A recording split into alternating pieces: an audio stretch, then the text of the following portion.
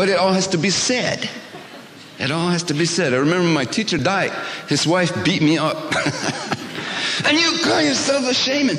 Bam, bam. The guy's 97 years old. You couldn't save him. You call yourself a shaman. But he's old. Bam, bam, bam. I hate your guts, you bad. We'll tell you everything we know. Bam, whop. And it's wailing on me. What did I do? I sat like there like a cat taking a crap, you know. Just, just squinting, taking it, you know. Because I love that old woman. I still love her. She's still alive. I love the old woman. I know what she felt like. She loved the old man. She hated me for not being able to save him. And I hate myself for not being able to save him. On the other hand, he's happy right now watching me go through this. So you got some. He rides me like a guy on a horse. My mother-in-law said once, so I don't know what happened to you. You act like him. You look like him you smell like him, you dress like him. You, what's going on? You're just like him. We couldn't get rid of him. He's still here. And I'm still here too. So that grief, you see how it is? That's how it is. That's how it is. And so the idea is, is that people need each other to have that possibility so that they have the courage to be down and the courage to be up and the courage to have that strange mixture called life. Because to us, heaven isn't some place we go to, it's some place we recognize. And it ain't a good place. It's a delicious place, a wonderful place, a strange place, a mysterious place. It's called sitting around a fire with all your people alive and maybe sick, maybe well, together, smoking the cigar, eating the food, having enough firewood, having enough clothes on your back, telling jokes, having enough people left to slap out the tortilla and talk about what so and so did, or, or this dog runs through, or the time when you cooked the crabs, they all jumped out of the pot and ran away. And, you know, all of these crazy things that happened to her about the guy that slept in a coffin I used to tell you about, you know, and, and all that. Yeah. Well, that's heaven to us. And to me, to me, that's it. To heaven is being with you guys. Like we got one person there who's grumpy, doesn't like me. Said that guy looked like a fake and a fraud to me. And I said, I like this person too. I like skeptics, you know, because it's a challenge to win them over. And I like the person that love me because it's a challenge to meet the adequacy of that love. I said, all the different shaped buckets to fill. And I got a lot of things I can give and a lot of place for you to put your gift to. So grief and praise comes down to be able to receive gift and be able to give gift. Because receiving gift good is the way a poor person gives a rich gift. They know eloquence how to receive the gift properly. I remember my old teacher, he said to me, he says, he busted into my house one night, and he's like that. Kicked me out of bed. He says, get up. Dragged me up by my neck, pulled me to my feet. At first I thought he was uh, an intruder, and then I realized it was my teacher. He said, what do you mean by not taking payment for your work? I said, these people are poor. They have nothing. I don't need it money. I got money. I sell paintings. I make money selling paintings. I don't need to charge them for for doctoring them. It's terrible. I mean, they have nothing. I can't take stuff from them. Says, what kind of idiot are you anyway? You disgrace them. They come to give you something, they think they got something to give you, and then you act like it's nothing good enough for you. I said, yeah, but still I can't take from them. No, it doesn't work like that. They give to you, and then you distribute to those that don't have anything. Oh, oh, I see. You're dishonoring my people and everything I taught you. You have to praise what I taught you by receiving the gift. So the praise has to be an ability to receive properly, to give well, to grieve well, and to receive grief well, which is a really, really hard one. To sit there like the cat taking a crap. Not to take abuse, but to understand the reception of grief as a legitimate form of expression that doesn't need Valium to cure. You don't need to medicate.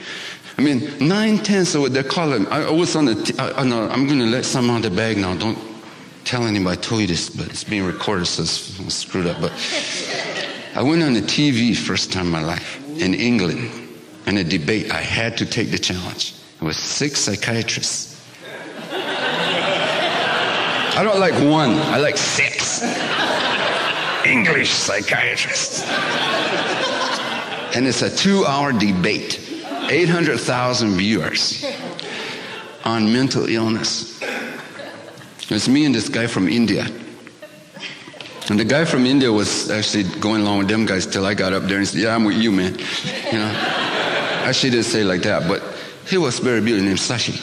And so all these guys were talking about because there was a, there was a report on the World Health Organization, who uh, used to be a big enemy of mine actually, and they said that there was a rise in the instance of mental illness, and that if it continued at the present rate, it would be epidemic. And I said, What do you mean, will be? it's epidemic because humans are mentally ill by nature.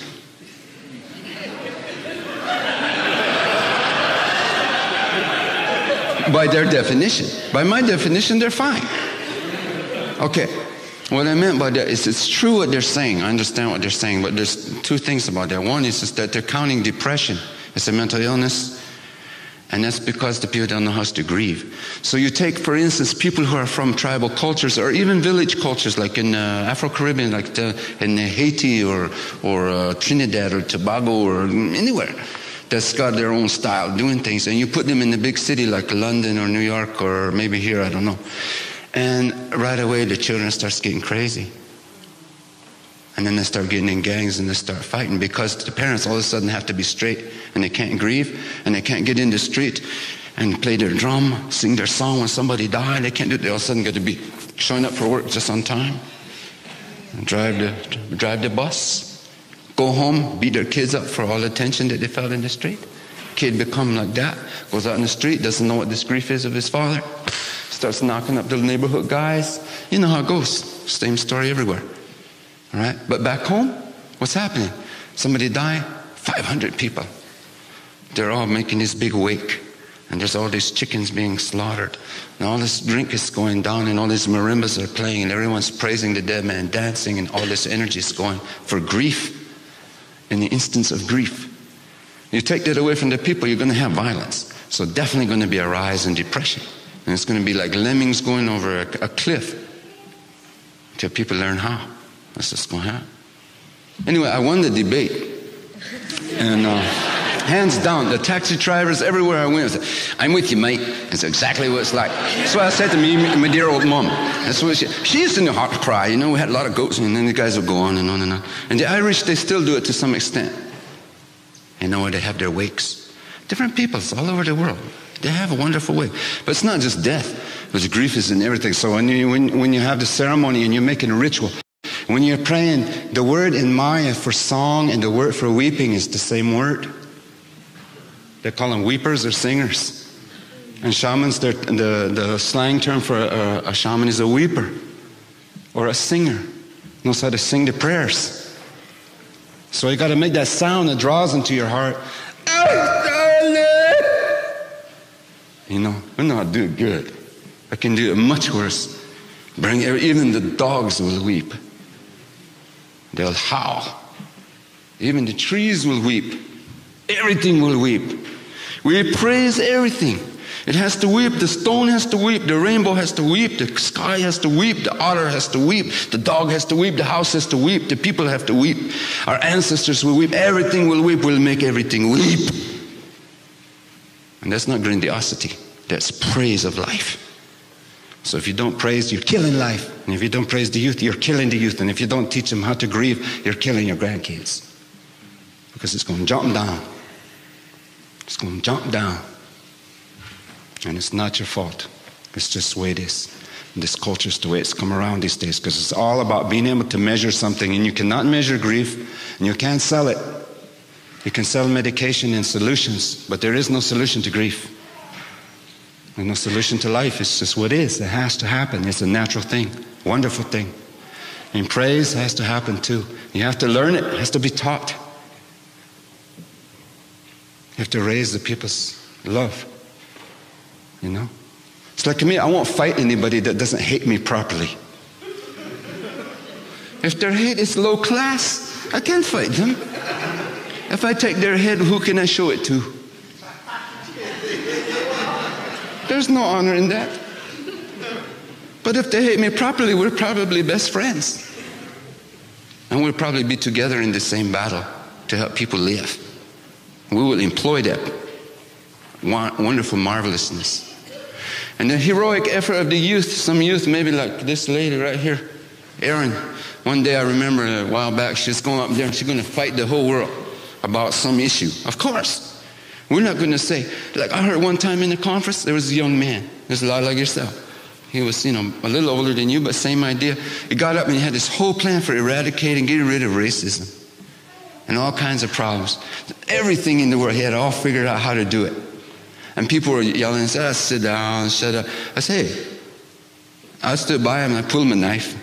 And I said, you have to come through me to stop this man's idealism. Because you killed that idealism, you slit in your own throat and your children's throat.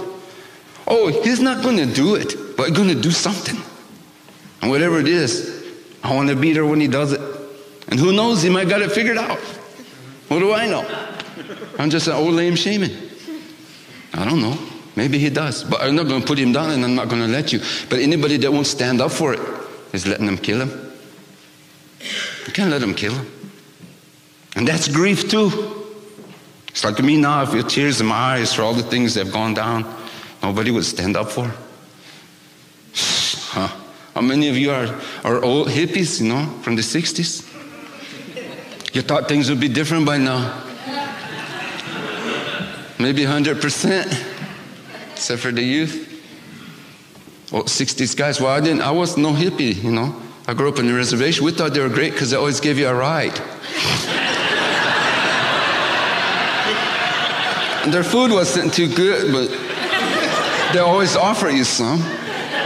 That's the honest to God truth. You could always have a place to sleep, and they always give you a ride, and they give you that food with lots of garlic in it. I don't know, but they were nice to us. They were nice to us. They were hoping for another, another kind thing going on. But they were children. Now they were not children anymore. And that's why still looking. People still looking. They still got that good, good thing inside. Still looking. So that spirit has got something that goes beyond us. And you got to have a vision of that, I think. I'm not ordering. I'm in the church, so I'm starting to get preachy here, but well, it's fun, you know, I get to pulpit. I was going to stand up there, but, you know, I might start a cult or something, you know. I don't want to do that. It's be fun, you know. And uh, the Spirit is big. The Spirit's really, really big. And that's why you can't let loneliness kill everything. Because it's loneliness is at the base of all this fear of being alive and it is grief. And that's because the people not together, they feel alone so don't be alone. It's a hard thing to do. This way things are. And there's times to be alone, but you have to know there's a place to go back to that where you're not alone. Definitely a time when you gotta be alone. I mean, you gotta go out in the bush or you gotta go off here, think this out, or just be with nature, which is another form of not being alone. Because you're never alone out in the woods. Woods mean surrounded with life. I mean, I feel happy out in the bush. Love be out the bush. You guys know me, know that's true. Try call me on the telephone, forget it. I'm, if I'm at home, I'm not home. But it's a community of trees, community of bird, community of stone, community of water. We know the spirits live in those things. We feed them everywhere we go. It's really hard to go around with me. Any of you noticed you got to stop at Mississippi River, get out of car, give a gift to the water. Somebody died, I got to weep in the water. Every time I cross a body of water, I got to give a gift. Every time I make a fire, I make a gift. Every time I eat, I make a gift. Everything I do is a gift. So it's coming down to gratitude. Grief is a form of gratitude for being alive. Because if you didn't miss it, then you weren't here. And if you don't cry for it, it no longer has any position in life. And for it to take its new position in life, to let it go, as they say in this culture, we don't say that. We say we, it becomes a deep water fish, we say. It's like the dead person, you know, it's like a human being form like this. And then once it goes 400 days, we call it becomes a deep water fish. It's now transformed into other being. Has a wind in its scales, yeah, you know. We lot of things. We say, we're going to send a dead person across the ocean to the other side to the spirit world. We say, I send you with canoes made of tears and oars made of our old songs. Please receive them on the beach of stars, the liver of the universe on the other side, all you old people. So the ancestors are waiting for this poor thing to come over there and they drag him of the boat. And they say, Well, don't look back, they say, don't look back. You don't see anything. That's what will scare you. You won't see anything. Whereas the people on this side that are still alive, weeping tears, doing their dance, doing their songs, and putting all the gifts in and making big old feasts every uh, 13, 20 days, 13, 20 days, feeding this person on the other side so that they can get initiated. They can't get initiated unless they got enough people weeping for them. It's like the young men and young women when they leave home to get initiated. What are their mothers and fathers doing? Weeping at the house. They're not sitting there saying, Oh, thank God we got that kid out of the house. They're not saying that. They're saying, I miss this child. There's a huge hole in our house. These chiefs are awful people, they say. I used to wonder why they carried those big sticks. And then I found out it's just the women are always attacking us for taking their kids away. Honest to God. We have to hold them back. I always wondered why they picked, you know, strong, able-bodied, you know, 30-year-old men with these big sticks to initiate a bunch of young guys. It wasn't for the guys, it was for their moms. Keep them back so they won't crack you over the head with a rock. They do. You think I'm kidding? I mean, there's women, oh, I'm telling you. They lose all control, and we love that because when the kid sees that mother going into a huge rage over the loss of this child leaving home, and she's only going half a mile down the road to an initiation chamber where it's perfectly as safe as it is at their house, which is not safe, but it's what it is. But they have to cry. So when the kid sees that and all his chums see that, or all her chums see that, or they all see everybody else's moms doing that too, and all their dads doing that, you know, they get that look like you do when your dad. He's like, hmm, hey man, they miss me. And their parents miss them. We are missed. And when we're not missed, what happens to us? We die and that's what happens with the spirits when we don't miss them. And that's what happens with our relatives and our friends when we don't miss them. That's what happens to life when we don't miss it. And when we miss it, we grieve. And when we grieve, it feeds it. And when it feeds it, it makes something else come alive and it doesn't end. And then we are seen as worthy, and so we get wept after when we leave. And then when we get to be fresh deep water fish, we can blow some wind back in the sails of the people here, into the animals here, and the plants here, and the ecosystems here. We can breathe it back in again. So that's what that's about there. Beat it all to death, I guess. Said a lot of words. Any questions? I always like to say that. In the village, they never have this question period. But here I was, I would just harangue everybody till they're destroyed. And then they get their chance later. And we have to sit and listen to them. Yeah? No questions? You have a question? If our relatives or people who lived before us yeah. not have a chance to grieve, mm-hmm. then what is their spirit right now? Um, what are they able to do? Well, if they weren't able to grieve, it means that somebody behind them didn't get grieved. Right? Let's say grandma couldn't weep, and grandpa couldn't weep, and your mom and dad couldn't weep. So that means your great grandma and great grandpa didn't get wept for properly. So they become ghosts. And they get hanging on your grandma and your grandpa. And your grandma and grandpa, that's why they can't grieve. And then that jumps down to your mom and dad. And then you're the lucky one, you get to carry it. And then you're carrying it and you're trying to be as macho as you can to hold all this weight and eventually start popping joints and kinds of things. Look at myself. Same. And so what there is there is it has to do rituals that, that capture this ghost and then divide it down into its parts. Divide it down into its parts divide it down into its original components. Original components. And send it back one at a time. Each piece, each generation. You can't, you have to have mock funerals for each generation didn't get, gra- didn't get grieving. And then you got to take lessons in grieving. You got to learn how, it's a skill. Different cultures have different ways of doing it. I mean, like even poets in this culture, like I look to Robert Bly or, or uh, William Stafford or, uh, or this guy Nolan or uh, what's his name, Louis Jenkins, or any of these characters around here. And the women, there's a lot of women poets, especially. You know, some of them probably don't even know, some of these people like Myra Shapiro and all that. They, they weep in these poems. This is like just big teardrops, that's all it is. This is big teardrops. And then when it hits you, what happened? You're inspired to write a poem or pull your hair out or weep or some kind of grief, but you don't want to internalize it. You want to make it into a community feast and make a lot of trouble out there because that's, uh, that's what it's all about. Because you have to have the, the people together, all together, all together. And then they can watch you to make sure nothing happens. For instance, if you have deep, deep thing and you can't go, can't go, can't go, can't go, and you feel it mm, making all kind of trouble in there, you getting gastroenteritis and you know, and a hiatal hernia and all that stuff, you know, that everybody gets from it, you know, and, and even intestinal ulcers and so forth. And then what happens then is, is we've always prescribed for someone to get two people on either side of you or four, and you go to beach where the water is, because the water takes all the sadness. And you have to stand in that water and weep. If you can't do that, then there's things called tequila. And you drink one whole bottle as quick as possible without throwing up.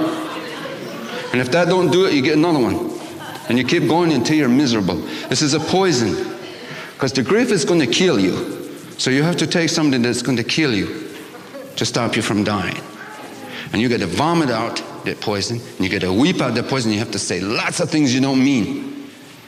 Because I know in this Scandinavian culture, basically they have here Nordic cultures, Germans and Finns and Norwegians and Swedes and Danes and even Irish in a way. They're, they're not, they, they have to, um, you know, they, they try to say what they mean.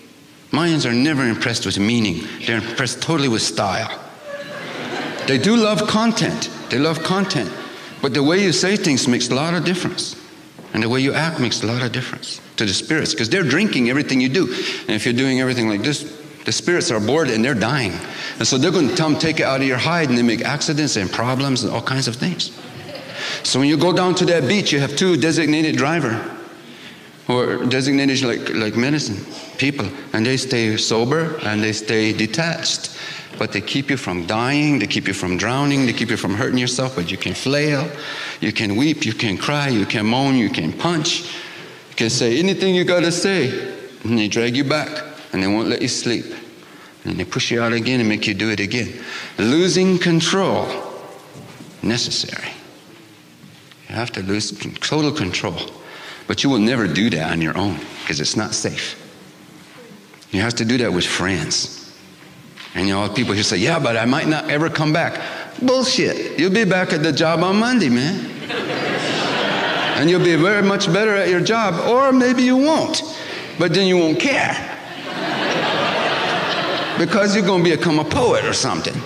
Because you got the grief out of your gut and you're not trying to impress anybody with that bullshit anymore. All right? So, so the point is, is that out of control for attention, no good. No good. That's uninitiated behavior. Out of control for its own sake, no good. Uninitiated behavior. Weeping and having to say what has to be said, yeah, we don't want to resolve it. We don't care about the content, it's irrelevant to us. What is relevant to us is the fact that your beauty is enraged by having a loss and that you beautifully express this in a way that is magnificent and deep from your soul, and that there are people around to keep you from dying while you do it. And when that happens, then you're sick because uh, you have been living with a huge chunk of yourself in grief and thinking it was an organ in your belly. And then what do you do with that big hollow spot? Well, don't go fill it up with more booze. Don't fill it up with cheese. And don't fill it up with TVs and movies. Don't try to fill it up. You can't fill it. You just gotta wait. There's a spirit that's to fill it up. And what is it to fill it up with? Going to fill it up with beauty. And it's going to fill it up with your own soul. Because your own soul can't live because there wasn't no damn place for it because you have all ancestral grief sitting in your belly for, for hundreds of years of peoples. So once it gets thrown out, it's this big vacancy. And you don't even know how to walk. You're even imbalanced because all this weight is missing. And you get scared you feel like you can't fly. That's why you have to have people with you. Keep you, you know, from wobbling too much and to go through this molting period. Like a little frog or a little hawk lose all its feather, got to grow new feather. It has to have two weeks to do that. Two months, whatever it takes. And then when you come back alive, this new thing starts growing in there. Whoa, man, what's this? And don't worry, there'll be more grief. It never goes away. There's always plenty more. Yeah, I met a guy in a men's conference once. He Said, "Well, Martín, I don't want to go through this um, grief ritual." And I said, "Why don't you?" Well, I kind of like my grief. I don't want to get rid of it. And I said, "Well, you're going to have more. Don't worry. Once you get rid of this, you get a new brand." You know. I said, "Don't worry about a thing. We love you, man. Go in there. We're not going to let you die. You get rid of your grief. There's still a person left over afterwards. You know." And they weren't sure about that. You know. So, you know, that's, that's one of the things. So the idea is to, is, to, is to go there and come back alive, and it takes people to help you with that. It takes a village. And whatever motley look your village has, it's your village. No, it's your village. Don't throw them away. Don't throw them away. This, this, this precious, man. It's precious to friends, precious to relatives. It's precious. No matter how odd or weird they are, it's precious. Because this, this darkness is deep, as they say. And we're walking with those cane, we don't have no food, no spirit food. And what little we got, we got to share.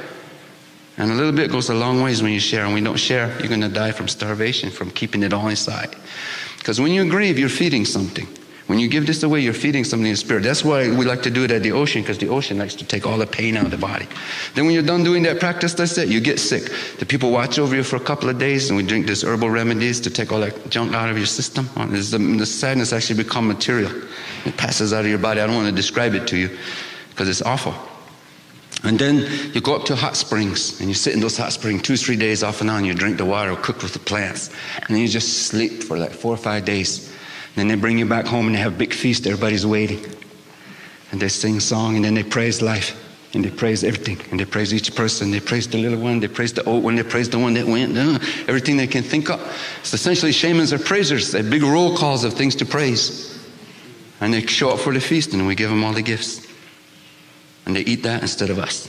And then together we work. Them on this side, me on that side. Rhythm.